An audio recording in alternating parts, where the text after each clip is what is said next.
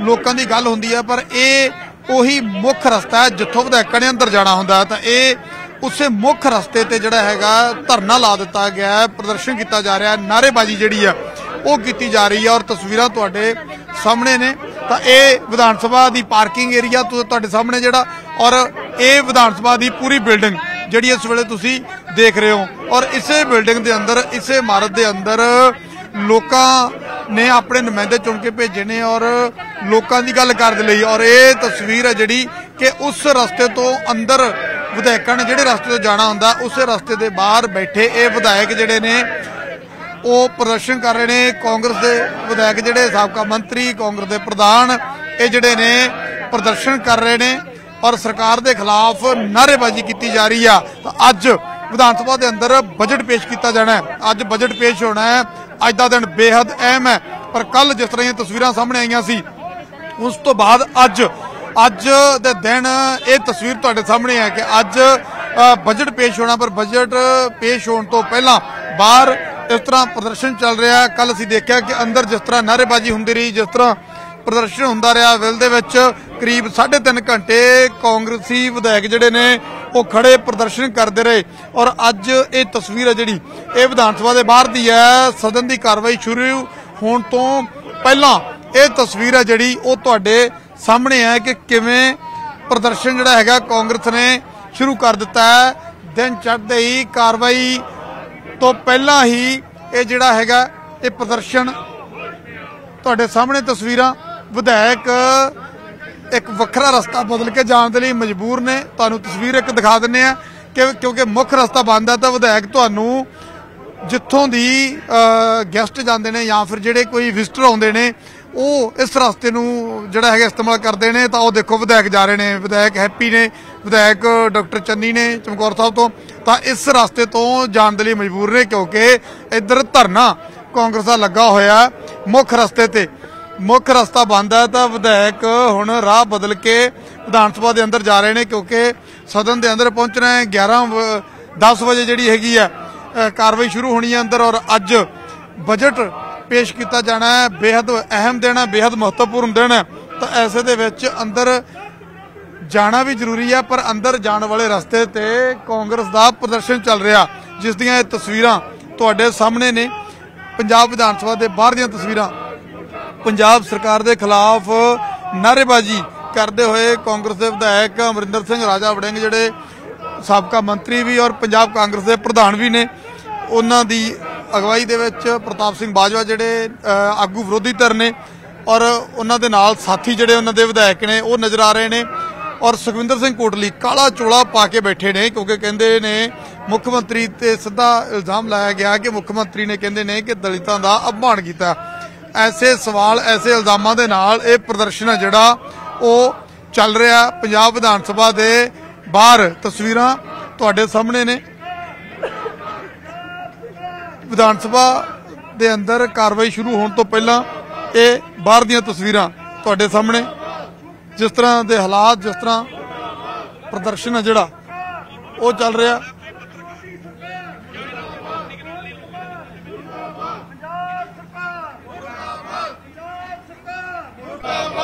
ਪੰਜਾਬ ਸਰਕਾਰ ਮੁਰਦਾਬਾਦ ਪੰਜਾਬ ਸਰਕਾਰ ਮੁਰਦਾਬਾਦ ਤਾਨਾਸ਼ਾਹੀ ਸਰਕਾਰ ਮੁਰਦਾਬਾਦ ਤਾਨਾਸ਼ਾਹੀ ਸਰਕਾਰ ਮੁਰਦਾਬਾਦ ਦਲਿਤ ਵਿਰੋਧੀ ਸਰਕਾਰ ਮੁਰਦਾਬਾਦ ਦਲਿਤ ਵਿਰੋਧੀ ਸਰਕਾਰ ਮੁਰਦਾਬਾਦ ਪੰਜਾਬ ਦੇ ਲੋਕਾਂ ਨਾਲ ਧੋਖਾ ਕਰਨ ਵਾਲੀ ਸਰਕਾਰ ਮੁਰਦਾਬਾਦ ਪੰਜਾਬ ਸਰਕਾਰ ਮੁਰਦਾਬਾਦ। ਪੰਜਾਬ ਸਰਕਾਰ ਮੁਰਦਾਬਾਦ। ਸੱਤਾ ਦੀ ਵਿਰੋਧੀ ਸਰਕਾਰ ਮੁਰਦਾਬਾਦ ਸ਼ੁਭ ਕਰਨ ਦਾ ਕਾਤਲ ਸਰਕਾਰ। ਮੁਰਦਾਬਾਦ। ਕਿਸਾਨਾਂ ਨੂੰ ਪੱਟਣ ਕਰਾਉਣ ਵਾਲੀ ਸਰਕਾਰ। ਮੁਰਦਾਬਾਦ। ਭਾਜਪਾ ਦੇ ਸਾਹਮਣੇ ਗੋਡੇ ਟੇਕਣ ਵਾਲਾ ਮੁੱਖ ਮੰਤਰੀ। ਮੁਰਦਾਬਾਦ। ਭਾਜਪਾ ਦੇ ਅੱਗੇ ਗੋਡੇ ਟੇਕਣ ਵਾਲਾ ਮੁੱਖ ਮੰਤਰੀ। ਮੁਰਦਾਬਾਦ। ਲੰਮਾ ਪਿਆ ਅਮਿਤ ਸ਼ਾਹ ਦੇ ਸਾਹਮਣੇ ਮੁੱਖ ਮੰਤਰੀ। ਮੁਰਦਾਬਾਦ। ਲੰਮਾ ਪਿਆ ਅਮਿਤ ਸ਼ਾਹ ਦੇ ਸਾਹਮਣੇ ਮੁੱਖ ਮੰਤਰੀ। ਮੁਰਦਾਬਾਦ। ਅਸ਼ਵਨੀ ਅਸ਼ਵਨੀ ਸ਼ਰਮਾ ਜੀ ਬੀਜੇਪੀ ਵਿਧਾਇਕ। ਸ਼ਰਮਾ ਜੀ ਜਿਹੜੇ ਰਸਤੇ ਤੁਸੀਂ ਜਾਣਾ, ਉੱਥੇ ਤਾਂ ਇੱਧਰ ਕਾਂਗਰਸ ਦਾ ਪ੍ਰਦਰਸ਼ਨ ਚੱਲ ਰਿਹਾ। ਕੋਈ ਗੱਲ ਨਹੀਂ, ਮੈਂ ਵਾਪਸ ਚਲਾ ਜਾਵਾਂਗਾ ਐਸਾ ਹੈ ਕਿ ਕੱਲ ਜੋ ਕੁਝ ਹੋਇਆ ਕੱਲ ਜੋ ਕੁਝ ਹੋਇਆ, ਬਹੁਤ ਨਿੰਦਨੀ ਹੋਇਆ ਸਦਨ ਸਦਨ ਦੇ ਅੰਦਰ। ਇਹ ਪਵਿੱਤਰ ਸਦਨ ਹੈ, ਲੋਕੀ ਬੜੀ ਆਸਾਂ ਦੇ ਨਾਲ ਵੋਟਾਂ ਪਾ ਕੇ ਵਿਧਾਇਕਾਂ ਨੂੰ ਭੇਜਦੇ ਨੇ।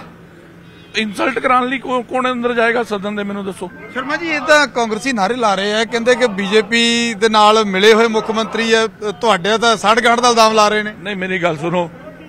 ਇਹ ਵਿਰੋਧਾਭਾਸ ਨਾਲ ਕਾਂਗਰਸ ਨੂੰ ਵਿਰੋਧਾਭਾਸ ਤੋਂ ਬਾਹਰ ਆਣਾ ਚਾਹੀਦਾ ਹੈ। ਜੱਫੀਆਂ ਤੁਸੀਂ ਪਾਓ ਦਿੱਲੀ 'ਚ ਤੁਹਾਡੀ ਜੱਫੀ ਪੈ ਗਈ। ਗੁਜਰਾਤ 'ਚ ਤੁਸੀਂ ਜੱਫੀ ਪਾ ਲਈ ਰਾਜਸਥਾਨ 'ਚ ਤੁਸੀਂ ਜੱਫੀ ਪਾ ਲਈ। ਇੱਥੇ ਆਮਣੇ-ਸਾਹਮਣੇ ਜਿੱਥੇ ਟੱਕਰ ਹੋ ਰਹੀ ਹੈ। ਇੱਥੇ ਤੁਸੀਂ ਵਿਪਕਸ਼ ਦੀ ਭੂਮਿਕਾ ਦਾਓ। ਲੋਕੀ ਤੁਹਾਡੇ ਤੇ ਕੀ ਯਕੀਨ ਕਰਨ? ਲੋਕੀ ਤਾਂ ਇਹ ਸੋਚਦੇ ਆ ਕਿ ਕਿਤੇ ਮਿਲੀ ਭਗਤ ਦੇ ਨਾਲ ਤਾਂ ਨਹੀਂ ਕਰਦੇ ਪਏ। ਲੇਕਿਨ ਕੱਲ ਜੋ ਕੁਝ ਵੀ ਹੋਇਆ ਨਿੰਦਨੀय ਹੈ ਸ਼ਰਮਸਾਰ ਕਰਨ ਵਾਲਾ ਹੈ।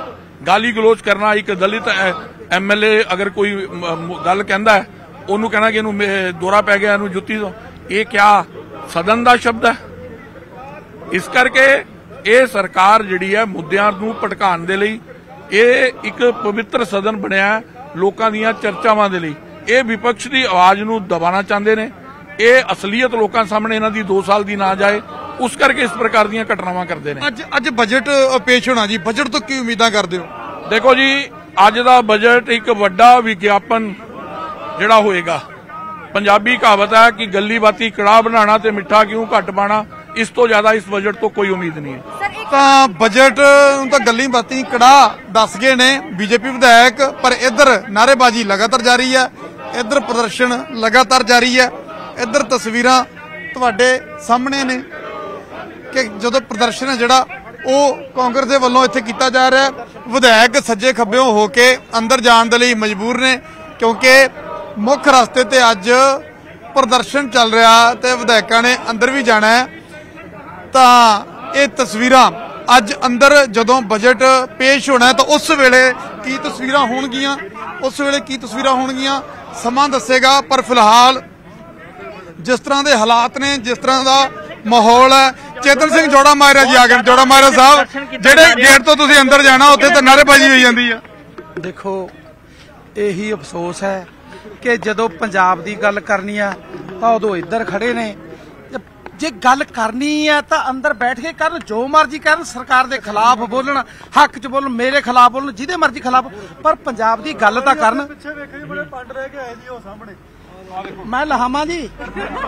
ਲਵਾ ਦਿਓ ਇਹ ਇਹ ਪੰਡ ਇਹਨਾਂ ਦੀ ਚਾੜੀ ਹੋਈ ਆ ਸਰ। ਇਹ ਪੰਜਾਬ ਦੇ ਪੰਜਾਬ ਨੇ ਬਣਾਇਆ ਸੀ ਬਣਾਇਆ ਸੀ। ਪੰਡ ਕਿਹਨੇ ਲੈ ਕੇ ਆਏ? ਇਹ ਕਰਜ਼ੇ ਦੀ ਪੰਡ ਹੈ ਜੀ ਕਰਜ਼ੇ ਦੀ ਜੋੜਾ ਮਾਇਰਾ ਸਾਹਿਬ। ਇੱਧਰ ਡਾਕਟਰ ਰਾਜ ਕੁਮਾਰ ਜੀ ਚੱਬੇਵਾਲ ਸਾਹਿਬ ਆ ਕਿਹੜੀ ਪੰਡ ਚੱਕੀ ਫਿਰਦੇ ਹੋ? ਇਹ ਜੀ ਕਰਜ਼ੇ ਦੀ ਪੰਡ ਹੈ। ਇਹ ਐਕਚੁਅਲੀ ਖੁੱਲੇ ਹੋ ਜਾ ਪੰਡ ਦੂਰੋਂ ਦਿਖੂਗੀ। ਆਹ। ਇਹ ਦੇਖੋ ਕੱਲ ਪਹਿਲਾਂ ਤਾਂ ਇਹਨਾਂ ਨੇ ਸੁਖਵਿੰਦਰ ਕੋਟਲੀ ਜੀ ਦਾ ਜਿਸ ਤਰ੍ਹਾਂ ਮਜ਼ਾਕ ਉਡਾਇਆ, ਬੜੀ ਸ਼ਰਮ ਦੀ ਗੱਲ ਹੈ। ਔਰ ਦੂਸਰਾ, ਉਸ ਤੋਂ ਬਾਅਦ ਵਿਧਾਨ ਸਭਾ ਨੂੰ ਜੋ ਜੰਦਾ ਲਾਣ ਦੀ, ਕਾਨੂੰਨ ਨੂੰ ਜੰਦਾ ਲਾਣ ਦੀ, ਸੰਵਿਧਾਨ ਨੂੰ ਜੰਦਾ ਲਾਣ ਦੀ ਗੱਲ ਕੀਤੀ ਸ਼ਰਮਨਾਕ। ਔਰ ਦੂਸਰਾ, ਜਿਸ ਕੰਮ ਲਈ ਇਹ ਬਦਲਾਅ ਵਾਲੀ ਸਰਕਾਰ ਆਈ ਸੀ, ਇਹ ਕਹਿੰਦੇ ਸੀ ਕਿ ਪੰਜਾਬ ਦੇ ਸਿਰੋਂ ਕਰਜ਼ੇ ਦੀ ਪੰਡ ਲਾਵਾਂਗੇ।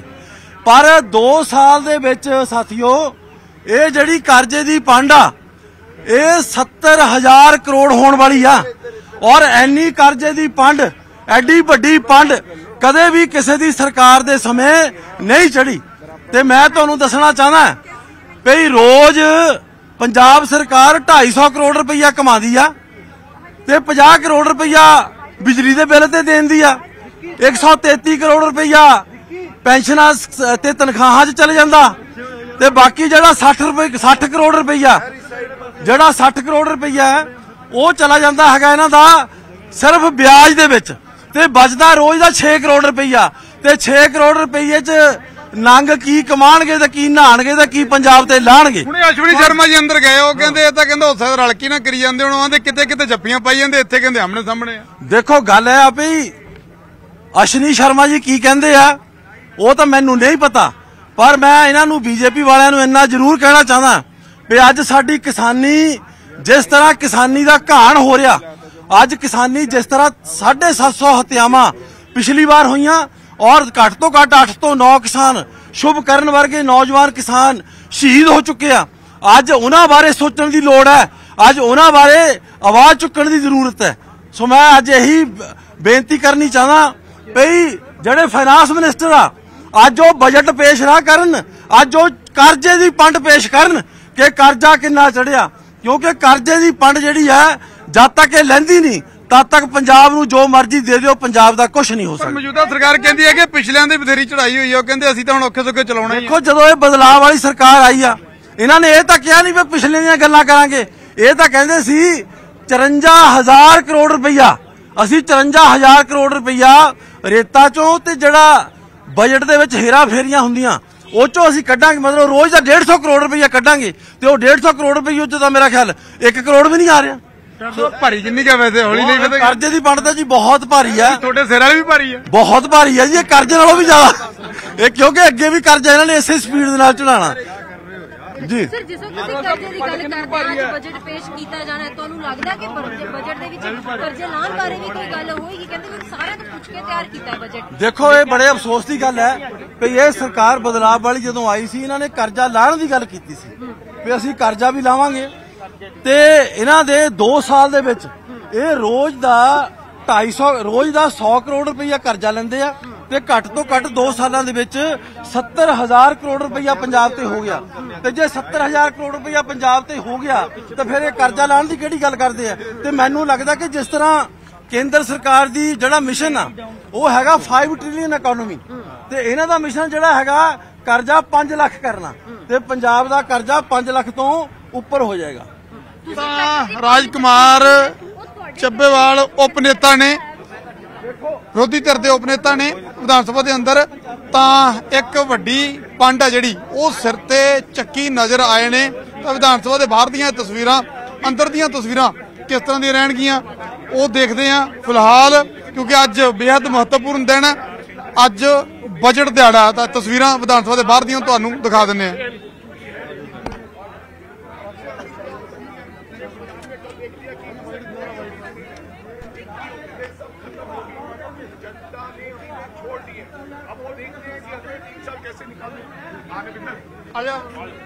तो हमारे साथ अमरिंदर सिंह राजा वड़ेंग प्रदर्शन इस तरह से किया जा रहा है। कर्जे की जो भैया अंदर तो बोलने नहीं दिया जा रहा। सामने माइक बंद किए जा रहे हैं अपने आप को ही दिखाया जा रहे हैं।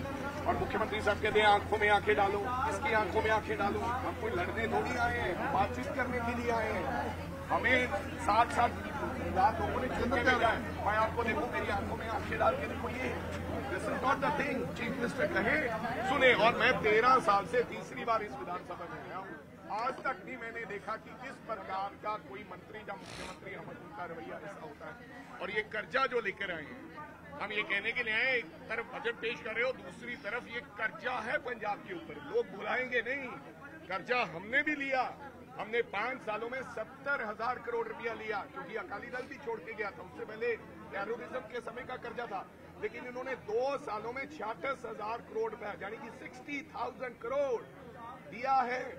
अब देते रहो पंजाब कंगाल कर दो दो लाख करोड़ और ले लो जिस दिन छह लाख करोड़ का कर्जा हो गया पंजाब के पास केवल तनख्वाहें देने के बिना कुछ नहीं कर सकेंगे ये चिंता है ਪੰਜਾਬ ਵਿਧਾਨ ਸਭਾ ਦੇ ਬਾਹਰ ਕਾਂਗਰਸ ਦਾ ਪ੍ਰਦਰਸ਼ਨ ਜਾਰੀ ਹੈ ਅਮਰਿੰਦਰ ਸਿੰਘ ਰਾਜਾ ਵੜਿੰਗ ਸਾਬਕਾ ਮੰਤਰੀ ਤੇ ਕਾਂਗਰਸ ਦੇ ਪ੍ਰਧਾਨ ਵੀ ਨੇ ਵੜਿੰਗ ਸਾਹਿਬ ਪ੍ਰਦਰਸ਼ਨ ਅੱਜ ਅੰਦਰ ਜਾਣ ਤੋਂ ਪਹਿਲਾਂ ਹੀ ਬਾਹਰ ਕਰਨਾ ਪਿਆ ਦੇਖੋ ਅਸੀਂ ਅੰਦਰ ਜਾਣਾ ਹੈ ਕੱਲ ਨਪਿੰਦਰ ਜੀ ਸਾਨੂੰ ਅੰਦਰ ਬੋਲਣ ਨਹੀਂ ਦਿੱਤਾ ਗਿਆ ਜਿਸ ਤਰੀਕੇ ਦਾ ਰਵਈਆ ਸੀਗਾ ਚੀਫ ਮਿਨਿਸਟਰ ਸਾਹਿਬ ਦਾ ਸਰਕਾਰ ਦਾ ਤੁਸੀਂ ਪਹਿਲਾਂ ਸਵਾਲ ਜਵਾਬ ਕਰੋ ਫਿਰ ਕੁਐਸਟ ਫਿਰ ਸਾਡਾ ਜ਼ੀਰੋ ਆਰ ਹੈ ਫਿਰ ਉਸ ਤੋਂ ਬਾਅਦ ਤੁਸੀਂ ਗਵਰਨਰ ਐਡਰੈਸ ਤੇ ਬੋਲੋ। ਔਰ ਪਹਿਲੀ ਵਾਰੀ ਹੋਇਆ, ਸਾਰਾ ਕੁਝ ਚੱਕ ਕੇ ਗਵਰਨਰ ਐਡਰੈਸ ਤੇ ਚੀਫ ਮਿਨਿਸਟਰ ਸਾਹਿਬ ਬੋਲਣ ਲੱਗ ਪਏ। ਸਾਡਾ ਹੱਕ ਹੈ ਕੱਲ ਦੇ ਸਵਾਲ ਸਾਡੇ ਗਏ। ਸਾਡਾ ਕੱਲ ਦਾ ਜ਼ੀਰੋ ਆਰ ਗਿਆ। ਫਿਰ ਤਾਲਾ ਲਿਆਏ। ਸਪੀਕਰ ਸਾਨੂੰ ਐ ਤਾਲਾ ਦਿਖਾ ਰਿਹਾ ਹੈ ਨੱਪ ਨੱਪ ਕੇ, ਆ ਆ ਆ, ਲਾ ਦਿਆਂ। ਕਿਹਨੂੰ ਲਾਉਣਾ ਹੈ ਤਾਲਾ? ਸਾਨੂੰ ਲਾਉਣਾ ਅਸੀਂ ਤਾਂ ਕਿਤੇ ਜਾਣ ਹੀ ਨਹੀਂ ਲੱਗੇ। ਸੋ ਮੇਰੇ ਕਹਿਣ ਦਾ ਮਤਲਬ ਅਸੀਂ ਚਾਹੁੰਦੇ ਸੀਗੇ ਚਰਚਾ ਕਰਨੀ। ਲੇਕਿਨ ਐਸਾ ਜਾਣਬੁੱਝ ਕੇ ਮਾਹੌਲ ਬਣਾਉਂਦੇ ਹੈ ਔਰ ਕਿਸ ਪ੍ਰਕਾਰ ਦੀ ਸ਼ਬਦਾਵਲੀ ਸੀ ਮੈਨੂੰ ਸ਼ਰਮ ਆਉਂਦੀ ਹੈ। ਸਾਹਿਬ ਸਵਾਲ ਵੀ ਚੁੱਕਿਆ ਗਿਆ ਕਹਿੰਦੇ ਕਿ ਗਵਰਨਰ ਸਾਹਿਬ ਨੂੰ ਐਡਰੈਸ ਨਹੀਂ ਕਰ ਦਿੱਤਾ ਗਿਆ ਕਹਿੰਦੇ ਤੇ ਇਸ ਕਰਕੇ ਇਹ ਪੂਰਾ ਮਾਹੌਲ ਪੈਦਾ ਹੋਇਆ। 100% ਗਵਰਨਰ ਸਾਹਿਬ ਨੂੰ ਸਵਾਲ ਕੀਤਾ ਗਿਆ ਕਿ ਗਵਰਨਰ ਸਾਹਿਬ ਤੁਸੀਂ ਸ਼ੁਭਕਰਨ ਨੂੰ ਸ਼ਰਧਾਂਜਲੀ ਦੇ ਦਿਓ। ਰਾਈਟ ਕੀ ਈਗੋ ਸੀ ਗਵਰਨਰ ਸਾਹਿਬ ਦੀ? ਕੀ ਭਾਜਪਾ ਜਾਂ ਪੰਜਾਬ ਦੀ ਸਰਕਾਰ? ਮੁੱਖ ਮੰਤਰੀ ਸਾਹਿਬ ਨੂੰ ਖੜੇ ਹੋ ਕੇ ਕਹਿਣਾ ਚਾਹੁੰਦਾ ਚਾਹੀਦਾ ਸੀ ਕਿ ਗਵਰਨਰ ਸਾਹਿਬ ਕਿਰਪਾ ਕਰਕੇ ਸ਼ੁਭਕਰਨ ਨੂੰ ਸ਼ਰਧਾਂਜਲੀ ਦੇ ਦਿਓ। ਸ਼ਰਧਾਂਜਲੀ ਦੀ ਮੰਗ ਕੀਤੀ। ਉਹਨਾਂ ਨੇ ਛੇਤੀ ਛੇਤੀ ਗਵਰਨਰ ਕਿਉਂਕਿ ਗਵਰਨਰ ਸਾਹਿਬ ਤੇ ਮੁੱਖ ਮੰਤਰੀ ਸਾਹਿਬ ਦੇ ਵਿੱਚ ਕੀ ਚੱਲਦਾ ਹੈ, ਸਾਰੀ ਦੁਨੀਆ ਜਾਣਦੀ ਹੈ। ਉਹ ਵੀ ਵੇਲਾ ਯਾਦ ਕਰੋ, ਤੁਸੀਂ ਸਾਡੀ ਤੋਹੀਨ ਕਹਿੰਦੇ ਹੋ, ਜਦੋਂ ਗਵਰਨਰ ਸਾਹਿਬ ਇਹ ਕਿ ਗਏ ਸੀ, ਉਹਨਾਂ ਨੇ ਮੇਰੀ ਸਰਕਾਰ ਸ਼ਬਦ ਉਡਾਤਾ ਸੀ। ਉਹਨਾਂ ਨੇ ਕਿਹਾ, ਮੇਰੀ ਸਰਕਾਰ ਨਹੀਂ, ਪਿਛਲੇ ਗਵਰਨਰ ਐਡਰੈਸ ਦੇ ਵਿੱਚ। ਤੁਹਾਡੀ ਆਪ ਦੀ ਲੜਾਈ ਹੈ। ਗਵਰਨਰ ਸਾਹਿਬ ਉਹ ਗਵਰਨਰ ਐਡਰੈਸ ਪੜਨਾ ਹੀ ਨਹੀਂ ਚਾਹੁੰਦੇ ਸੀ। ਕਿਹਨੇ ਰੋਕਿਆ? ਉਹ ਬੋਲ ਦਿੰਦੇ। ਚੁੱਪ ਕਰਨ ਦੇ ਮਸਲੇ ਤੇ ਉਧਰ ਜਾਖੜ ਸਾਹਿਬ ਹੋਣੀ ਹੁਣ ਅੱਜ ਕੱਲ ਬੀਜੇਪੀ ਵਾਲ ਨੇ ਤਾਂ ਉਹ ਸਾਫ਼ ਤੌਰ ਤੇ ਕਹਿੰਦੇ ਸ਼ੁਭ ਕਰਨ ਮਰਵਾਇਆ ਕਿ ਉਹ ਤਾਂ ਇਹ ਸਵਾਲ ਤੁਹਾਨੂੰ ਕਰ ਰਹੇ। ਸ਼ੁਭ ਕਰਨ ਉਹਨਾਂ ਨੂੰ ਪੁੱਛ ਲਓ। ਫਿਰ ਕਹਿ ਦਿਓ ਵੀ ਕਿਸਾਨ ਯੂਨੀਅਨ ਨੇ ਆਪ ਮਰਾਤਾ। ਰਬੜ ਚ ਗੋਲੀ ਮਾਰੀ ਮੁੱਖ ਮੰਤਰੀ ਸਾਹਿਬ ਤੁਹਾਡਾ ਜਾਖੜ ਸਾਹਿਬ ਤੁਹਾਡੇ ਅਨਿਲ ਵਿਜ ਗ੍ਰਹਿ ਮੰਤਰੀ ਨੇ। ਉਹਨੂੰ ਮੁੰਡੇ ਨੂੰ ਮਾਰਿਆ ਤੇ ਉਹਦੇ ਗੁਨੇਗਾਰ ਅਸੀਂ ਹੈ ਤੁਹਾਡੇ ਤਾਨਾਸ਼ਾਹ ਦੇਸ਼ ਦੇ ਪ੍ਰਧਾਨ ਮੰਤਰੀ ਨੇ ਖਨੌਰੀ ਬਾਰਡਰ ਪਾਕਿਸਤਾਨ ਦਾ ਬਾਰਡਰ ਬਣਾਤਾ। ਸਵਾਲ ਸਾਡੇ ਕੋਲੇ ਇੱਥੋਂ ਨੂੰ ਸ਼ਰਮ ਆਉਣੀ ਚਾਹੀਦੀ ਹੈ। ਕਾਰੇ ਤੇ ਧਰਨਾ ਲਾਇਆ? ਧਰਨਾ ਲਾਉਣਾ ਕਿਆ ਬੰਦਾ ਉਹਨਾਂ ਦਾ? ਸ਼ਰਮ ਆਉਣੀ ਚਾਹੀਦੀ ਹੈ ਬੀਜੇਪੀ ਬਜਟ ਤੋਂ ਕੋਈ ਉਮੀਦ ਕਰਦੇ ਹੋ? ਬਜਟ ਕਿਸ ਤਰ੍ਹਾਂ ਦਾ ਚਾਹੀਦਾ ਤੁਹਾਨੂੰ? ਸਰਕਾਰ ਨੂੰ ਇਹ ਤਾਂ ਪੰਜਾਬ ਦੇ ਲੋਕਾਂ ਨੂੰ ਕੋਈ ਉਮੀਦ ਨਹੀਂ ਹੈ। ਬਜਟ ਤੋਂ ਕਿਸੇ ਪ੍ਰਕਾਰ ਦੀ ਕੋਈ ਉਮੀਦ ਨਹੀਂ ਹੈ। ਤੁਸੀਂ ਦੇਖ ਲਓਗੇ ਆਉਣ ਵਾਲਾ ਜਿਹੜਾ ਬਜਟ ਆ ਜਾਊਗਾ ਪਤਾ ਲੱਗ ਜਾਊਗਾ। ਤਾਂ ਬਜਟ ਤੋਂ ਕਹਿੰਦੇ ਉਮੀਦਾਂ ਜ਼ਿਆਦਾ ਨਹੀਂ ਨੇ। ਤਾਂ ਰਾਜਾ ਵੜਿੰਗ ਸਾਫ਼ ਤੌਰ ਤੇ ਮੁੱਖ ਮੰਤਰੀ ਤੇ ਹਮਲਾਵਰ ਨਜ਼ਰ ਆ ਰਹੇ ਨੇ। ਪੰਜਾਬ ਵਿਧਾਨ ਸਭਾ ਦੇ ਬਾਹਰ ਦੀਆਂ ਇਹ ਤਸਵੀਰਾਂ ਨੇ ਜੋ ਕੁਝ ਅੰਦਰ ਹੋਇਆ ਉਹ ਤੁਹਾਡੇ ਸਾਹਮਣੇ ਪਰ ਹੁਣ ਬਾਹਰ ਦੀਆਂ ਤਸਵੀਰਾਂ ਤੁਹਾਡੇ ਸਾਹਮਣੇ ਨੇ। ਵਿਧਾਇਕਾਂ ਦੇ ਪਹੁੰਚਣ ਦਾ ਸਿਲਸਿਲਾ ਜਾਰੀ ਆ। ਰਾਜਕੁਮਾਰ ਚੱਬੇਵਾਲ ਹੋਣੀ। ਰਾਜਕੁਮਾਰ ਚੱਬੇਵਾਲ ਹੋਣੀ ਇੱਕ ਵੱਡੀ ਪੰਡ ਸਿਰ ਤੇ ਚੱਕੀ ਫਿਰਦੇ ਨੇ। ਕਹਿੰਦੇ ਨੇ ਕਿ ਕਰਜ਼ੇ ਦੀ ਪੰਡ ਹੈ ਇਹ। ਚੱਬੇਵਾਲ ਸਾਹਿਬ ਆ ਸਪੈਸ਼ਲ ਪੰਡ। ਇਹ ਤਾਂ ਮੈਨੂੰ ਕਾਂਡਾ ਮਤਲਬ ਪੰਡ ਨਾਲ ਲੱਗਦਾ ਮੈਂ ਝੁਗੀ ਜਾਂਦਾ ਮਤਲਬ ਇੰਨਾ ਕਰਜ਼ੇ ਦੀ ਪੰਡ ਜਿਹੜੀ ਇੰਨੀ ਭਾਰੀ ਆ। ਇਹ ਵਾਕਿਆ ਹੀ ਜੇਕਰ ਕਰਜ਼ੇ ਦੀ ਪੰਡ ਜਿੰਨੀ ਭਾਰੀ ਆ ਇਹ ਪੰਜਾਬ ਦੇ ਲੋਕ ਜਦੋਂ ਵੀ ਜਿਹੜਾ ਨਵਾਂ ਬੱਚਾ ਜੰਮਦਾ ਉਹ ਘੱਟ ਤੋਂ ਘੱਟ ਆਪਣੇ ਸਿਰ ਤੇ ਸਵਾ ਲੱਖ ਦਾ ਕਰਜ਼ਾ ਲੈ ਕੇ ਪੰਜਾਬ ਦੇ ਵਿੱਚ ਜੰਮਦਾ। ਬੜੀ ਸ਼ਰਮ ਚੱਬੇਵਾਲ ਸਾਹਿਬ ਵੈਸੇ ਮੈਂ ਦੇਖਿਆ ਕਿ ਸਿੰਬੋਲਿਕ ਹੁੰਦੀਆਂ ਚੀਜ਼ਾਂ ਤੁਹਾਡੇ ਵਾਲੀ ਮੈਨੂੰ ਭਾਰੀ ਲੱਗਦੀ ਆ। ਨਹੀਂ ਪੰਡ ਹੈ ਹੀ ਕਰਜ਼ਾ ਇਸ ਤੋਂ ਵੀ ਭਾਰਾ ਹੈ। ਇਸ ਤੋਂ ਵੀ ਭਾਰਾ ਸੋ ਅਸੀਂ ਅਸਲੀ ਚੱਕ ਲਿਆ ਲੱਗਦਾ। ਨਹੀਂ ਮੈਂ ਤਾਂ ਮੈਂ ਤਾਂ ਤੁਹਾਡੇ ਰਾਹੀਂ ਮੈਂ ਫਾਈਨਾਂਸ ਮਿਨਿਸਟਰ ਸਾਹਿਬ ਨੂੰ ਕਹਿਣਾ ਚਾਹਨਾ ਵੀ ਅੱਜ ਬਜਟ ਨਾ ਪੇਸ਼ ਕਰੋ ਅੱਜ ਕਰਜ਼ੇ ਦੀ ਪੰਡ ਪੇਸ਼ ਕਰੋ। ਇਹ ਉਹਨਾਂ ਨੂੰ ਤਾਂ ਅੱਜ ਉਹਨੇ ਤਾਲਾ ਦਿੱਤਾ ਸੀ ਨਾ ਕੱਲ ਅੱਜ ਅਸੀਂ ਉਹਨੂੰ ਕਰਜ਼ੇ ਦੀ ਪੰਡ ਦੇਣਾ ਹੈ ਵੀ ਆਹ ਪੇਸ਼ ਕਰੋ। ਨਹੀਂ ਇੱਕ ਇੱਕ ਚੱਬੇਵਾਲ ਸਾਹਿਬ ਇਹ ਵੀ ਸਵਾਲ ਉੱਠਦੇ ਆ, ਕਹਿੰਦੇ ਪਿਛਲਿਆਂ ਦਾ ਇਹ ਜਿਹੜਾ ਪੂਰਾ ਤਾਣਾ ਬਾਣਾ ਪਿਛਲਿਆਂ ਦਾ ਕਹਿੰਦੇ ਨਿਬੜੀ ਜਾਂਦੇ ਆ। ਆ ਨਪਿੰਦਰ ਜੀ ਜਦੋਂ ਇਹਨਾਂ ਨੂੰ ਲੋਕਾਂ ਨੇ ਚਾਬੀ ਫੜਾਈ ਆ ਰਾਜ ਭਾਗ ਦੀ ਤਾਂ ਉਦੋਂ ਤਾਂ ਇਹਨਾਂ ਨੇ ਕਿਹਾ ਨਹੀਂ ਸੀ ਕਿ ਪਿਛਲਾ ਵੀ ਕਹਿੰਦੇ ਸਾਨੂੰ ਬਸ ਇੱਕ ਵਾਰੀ ਤੁਸੀਂ ਚਾਬੀ ਫੜਾ ਦਿਓ।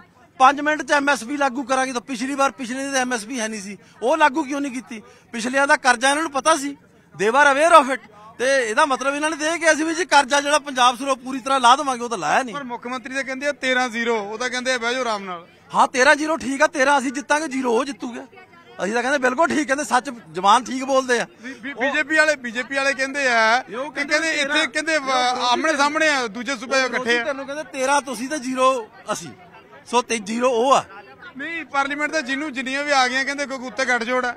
ਨਹੀਂ, ਦੇਖੋ ਗੱਠ ਜੋੜ ਜੋ ਮਰਜ਼ੀ ਹੋਵੇ, ਪਰ ਸਾਡੇ ਪੰਜਾਬ ਦੇ ਲਈ ਜਿਹੜੀ ਸਾਡੀ ਵਿਚਾਰਧਾਰਾ ਉਹ ਬਿਲਕੁਲ ਅਲੱਗ ਹੈ ਪੰਜਾਬ ਦੇ ਲਈ ਵਿਚਾਰਧਾਰਾ, ਅਸੀਂ ਪੰਜਾਬ ਲਈ ਜਿਉਂਦੇ ਆ ਪੰਜਾਬ ਲਈ ਮਰਦੇ ਆ ਤੇ ਇਸ ਕਰਕੇ ਪੰਜਾਬ ਦੇ ਹੱਕਾਂ ਦੀ ਗੱਲ ਜਿਹੜੀ ਹੈ, ਉਹ ਕਾਂਗਰਸ ਪਾਰਟੀ ਨੇ ਪਹਿਲਾਂ ਵੀ ਕੀਤੀ ਤੇ ਕਰਦੀ ਰਹੇਗੀ। ਰਾਜ ਕੁਮਾਰ ਚੱਬੇਵਾਲ ਉਪਨੇਤਾ ਨੇ ਜੀ, ਵਿਰੋਧੀ ਧਿਰ ਦੇ ਪੰਜਾਬ ਵਿਧਾਨ ਸਭਾ ਦੇ ਅੰਦਰ, ਤਾਂ ਇਹ ਤਸਵੀਰਾਂ ਇੱਕ ਵੱਡੀ ਪੰਡ, ਇੱਕ ਤਾਂ ਸਿੰਬੋਲਿਕ ਹੁੰਦੀ ਹੈ ਪਰ ਚੱਬੇਵਾਲ ਸਾਹਿਬ ਅਸਲੀ ਭਾਰ ਵਾਲੀ ਪੰਡ ਚੱਕੀ ਫਿਰਦੇ ਆ। ਵਿਧਾਨ ਸਭਾ ਦੇ ਬਾਹਰ ਦੀਆਂ ਇਹ ਤਸਵੀਰਾਂ ਨੇ। ਅੰਦਰ ਕੀ ਤਸਵੀਰ ਹੋਏਗੀ ਅੰਦਰ ਕੀ ਹਾਲਾਤ ਹੋਣਗੇ ਉਹ ਤਾਂ ਸਮਾਂ ਦੱਸੇਗਾ। ਪਰ ਫਿਲਹਾਲ ਬਾਹਰ ਦੀਆਂ ਤਸਵੀਰਾਂ ਇਹ ਤੁਹਾਡੇ ਸਾਹਮਣੇ ਨੇ। ਚੱਬੇਵਾਲ ਸਾਹਿਬ ਪੰਡ ਲੈ ਕੇ ਅੰਦਰ ਜਾ ਰਹੇ ਨੇ ਤੇ ਰਾਜਾ ਵੜਿੰਗ ਹੋਣੀ ਉਹਨਾਂ ਨੂੰ ਲੈਣ ਆਏ ਨੇ। ਹੁਣੇ ਪੰਡ ਸਣੇ ਅੰਦਰ ਜਾਂਦੇ ਨੇ ਜਾਂ ਨਹੀਂ ਜਾਂਦੇ ਕਹਿੰਦੇ ਜੀ ਐਮਐਲਏ ਸਾਹਿਬ ਜਾ ਸਕਦੇ ਆ ਪੰਡ ਨਹੀਂ ਜਾ ਸਕਦੀ। ਬਾਹਰ ਚ ਰੋਕਿਆ ਹੋਇਆ ਤਸਵੀਰਾਂ ਤੁਹਾਡੇ ਸਾਹਮਣੇ ਆ। ਤੁਹਾਡੇ ਸਿਰ ਤਾਂ ਵੈਸੇ ਕਰਜ਼ਾ ਬਹੁਤ ਛੱਡੋ ਮਰਾ ਤੁਸੀਂ ਜਾ ਦਫ਼ਤਰ ਲੈ ਜਾਓ ਚੱਬੇਵਾਲ ਸਾਹਿਬ। ਚਲੋ ਦਫ਼ਤਰ ਜਾਣ ਦਿਓ ਦਫ਼ਤਰ। ਇਹ ਦਫ਼ਤਰ ਜਾਊਗੀ। ਨਹੀਂ ਅੱਜ ਅਸੀਂ ਵਿਧਾਨ ਸਭਾ ਦੇ ਵਿੱਚ ਜਿਹੜੇ ਸਾਡੇ ਫਾਈਨਾਂਸ ਮਿਨਿਸਟਰ ਆ ਉਹਨਾਂ ਨੂੰ ਅਸੀਂ ਅੱਜ ਕਰਜ਼ੇ ਦੀ ਪੰਡ ਦੇਣੀ ਵੀ ਇਹ ਪੇਸ਼ ਕਰੋ ਬਜਟ ਪੇਸ਼ ਨਾ ਕਰੋ। ਤੁਸੀਂ ਜਾ ਸਕਦੇ ਹੋ। ਇਹ ਪੰਡ ਸਾਨੂੰ ਨਹੀਂ ਪੰਡ ਵੀ ਮੇਰੀ ਆ ਤੇ ਪੰਡ ਪੰਜਾਬ ਦੀ ਆ ਕਹਿੰਦੀ। ਆ ਮੇਰੇ ਕੋਲ ਇਹ ਆંકੜੇ ਹੈ ਅਸੀਂ 2 ਲੱਖ 61 ਹਜ਼ਾਰ ਕਰੋੜ ਰੁਪਇਆ ਕਰਜ਼ਾ ਛੱਡ ਕੇ ਗਏ ਸੀ। ਤੇ ਅੱਜ ਕਿੰਨਾ ਹੋ ਗਿਆ 2 ਸਾਲਾਂ 3 ਲੱਖ 3 ਲੱਖ 27 3 ਲੱਖ ਕਰੋੜ 27 ਆ ਹੋ ਗਿਆ। 3 ਲੱਖ 27 ਬੜੀ ਸਾਹਿਬ ਬਿਲਕੁਲ ਠੀਕ ਆ। ਇਹਦੇ ਇਹਦੇ ਚ 1 ਲੱਖ ਕਰੋੜ ਰੁਪਏ ਦਾ ਕਿਸਾਨਾਂ ਦਾ ਚਲੋ ਜਾਣ ਚਲੋ ਜੀ, ਜਾਣ ਹੁਣ ਯਾਰ ਇਹ ਆਪਦੀ ਪੰਡ ਨਹੀਂ ਲੈ ਕੇ ਜਾ ਸਕਦੇ। ਆ ਵੀ ਇਹ ਤਾਂ ਗਲਤ ਗੱਲ ਹੈ। ਚੱਬੇਵਾਲ ਸਾਹਿਬ ਨੇ ਇੱਥੇ ਰੱਖ ਲਓ। ਹਾਂਜੀ। ਆ ਚਲੋ। ਇੱਥੇ ਰੱਖ ਲਓ ਇੱਥੇ। ਮੁੱਖ ਮੰਤਰੀ ਸਾਹਿਬ ਇੱਥੇ ਆ ਕੇ ਉਹ ਚੀਮੇ ਨੂੰ ਇੱਥੇ ਦੇ ਦਿੰਦੇ ਫਿਰ। ਲਓ ਜੀ ਪੰਡ ਸਿਰ ਤੋਂ ਲਾਲੀ ਆ ਕਹਿੰਦੇ ਅੰਦਰ ਤਾਂ ਲਿਜਾ ਨਹੀਂ ਦਿੰਦੇ। ਇੱਥੇ ਹੀ ਦੇ ਦਿਆਂਗੇ। ਤਾਂ ਆ ਪੰਡ ਲਓ ਜੀ ਇਹ ਆ ਰੱਖੀ ਬੈਠੇ ਨੇ ਤਾਂ ਇਹ ਕੁਝ ਵੱਖਰੀਆਂ ਕੁਝ ਵਿਲੱਖਣ ਤਸਵੀਰਾਂ ਨੇ ਪੰਜਾਬ ਵਿਧਾਨ ਸਭਾ ਦੇ ਬਾਹਰ ਦੀਆਂ ਪੰਜਾਬ ਵਿਧਾਨ ਸਭਾ ਦੇ ਬਾਹਰ ਦੀਆਂ ਤਾਂ ਗਨੀਵ ਕੌਰ ਮਜੀਠੀਆ ਜੀ ਆਏ ਨੇ।